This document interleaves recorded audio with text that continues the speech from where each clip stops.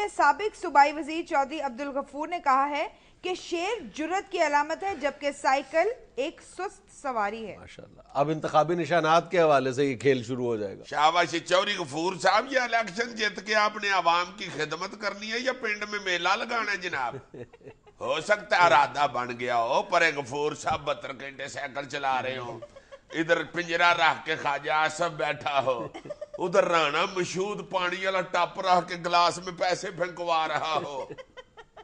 پر موت کے کنویں پہ امیر مقام ٹکٹوں کی وائیں لگا رہا ہو۔ سر پہ پٹی بن کے چوری نثار کھو کے اندر موٹر سائیکل چلا رہا ہو۔ پر کسی تمبو کے اندر میاں شباز شریف لک پہ بیلٹ بن کے ڈنڈا ہاتھ میں پکڑ کے تار پہ چلنے کا میرا کر رہا ہو پر اسمانی پنگوڑے کے ساتھ ہم یا شباز لٹکا ہو۔ چاہتے کیا ہیں آپ اس بیان سے کہ شیر جرت والا ہر سائیکل سست ہے؟ حیور یہ رکھا اور تو کریں۔ ادھے سے زیادہ سیاستدان سیاست میں آنے سے پہلے اسی سائیکل پہ دودھ بیچتے تھے۔ آپ کی بات نہیں کر رہا، آپ تو ماشاءاللہ سی ایس ایس چھوڑ کے سیاست میں آئے ہیں۔ ہاں، نا یار، ایک فروق لگاری اور ایک چوری گفر دونوں سول سروسز اکیڈمی کلیئر کر کے تو پھر چھوڑ کے سیاست میں آئے۔ اعتزاز حسن کا کہنا ہے کہ پیپلز پارٹی وفاق کے ساتھ ساتھ پنجاب میں بھی حکومت بنائے گی۔ بہت اچھے Aitzaz Hasan sahab I am grateful to you and I respect your کیا انہوں نے کہا ہے؟ انہوں نے کہا ہے جی پیپلز پارٹی وفاق کے ساتھ ساتھ پنجاب میں بھی حکومت بنائے گی یار ویسے معاف کرنا اعتزاز حسن صاحب جیسے ریزنیبل آدمی کی طرف سے اتنے بڑے دعوے کی امید نہیں کی جا سکتی۔ یار کیا کر رہے ہیں وہ صحیح کہہ رہے ہیں۔ اچھا۔ وفاق میں شاید نہ بنا سکے پنجاب میں ضرور بنائے گی۔ یہ یہ میں رکھنا۔ ویسے احتجاج صاحب اگر معاف کرنا آپ کے بیان میں کوئی طاقت ہوتی نا جی آپ خود الیکشن میں کھڑے ہوتے پرجائی کو تکلیف نہ دیتے۔ یہ کیا کر رہے ہیں؟ خارش ہو رہی ہے میں کو آنکھ نہیں چرا رہا بات کرتے ہوئے۔ شیخ رشید کا کہنا ہے کہ یہاں پر تو گدھا بھی کھڑا ہو تو منتخب ہو جائے گا۔ شیخ صاحب، اس طرح کی بات تو نہ کریں۔ حیور آپ جیسے زی شعور پڑھے لکھے منجے ہوئے سیاستدان کی ریپلیسمنٹ گدھا تو نہیں نہ ہو سکتا حیور یہ نہ کرے آپ ماشاءاللہ بڑے بہترین سیاستدان ہم آپ کو مانتے ہیں۔ ہاں اگر آپ کی پارٹی میں بندے تھوڑے ہیں تو کسی جگہوں پہ گدھا بھی چلے کھڑا کر لیں مگر دیکھ لیں کہ گدے کے پاس آپ کی پارٹی کے ٹکٹ کی فیس پانچ ہزار روپیہ ہے۔ نہیں ہوتی نا، کئی گدے نہیں پیسے جوڑتے یار شرابے پینے والے گدے بھی ہیں۔ ویسے اگر پانچ ہزار ہی فیس آپ نے رکھنی ہے، کٹ نہیں کرنی تو پھر گھوڑے دیکھ لیں۔ گدے کی اتنی آمدن نہیں ہوتی بیچارے۔ گھوڑے بڑے بڑے امیر ہیں، اللہ جانتا کئی تو میں نے دیکھ سنا کہ ناشتے میں مربے کھاتے ہیں گھوڑے۔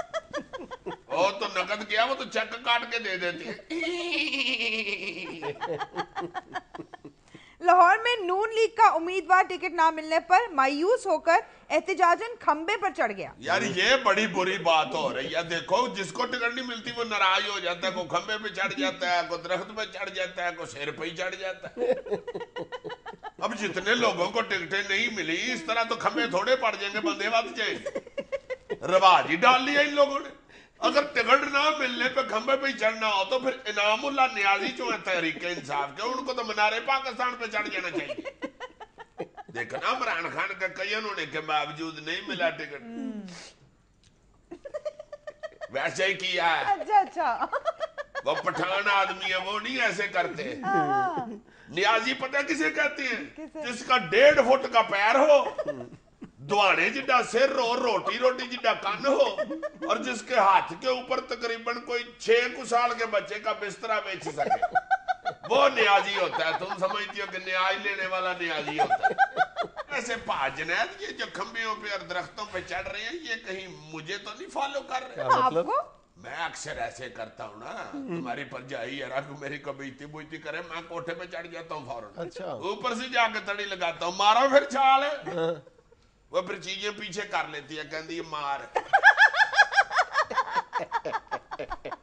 محبت کرتی ہے وہ مجھ سے اسے یہ ہوتا ہے کہ پکی تھاں پہ گرے ریائی ریجوئی پہ نہ گر جائے ایک ہزار ایک سو ایک افراد دنیا کا سب سے بڑا پیزا کھانے میں ناکام رہے ایک ہزار ایک سو ایک افراد جی یہاں سے ایک افراد جائے نا تو سارا پیزا کھائے کون تم لوگ جو سمجھ رہے ہو میں نے وہ تو نہیں بتانا نہ میں نے امیر مقام کہنا ہے نہ فضل الرحمان کہنا ہے نہ ہی میں نے جائی بٹ کہنا ہے نہ راجہ ریائی کہنا ہے یہ بڑی جوڑ کے پلوان ہے اس پیزے کے لیے تو میں کچھ نالے کا منجر امین باٹی بھیجوں نا ماڑا سا ہے ہائے ہائے ہائے ہائے اتنی روٹی کھاتا ہے کہ کوئی اس سے پوچھے نا بٹ صاحب کنی کو روٹی کھاندی ہو کہندا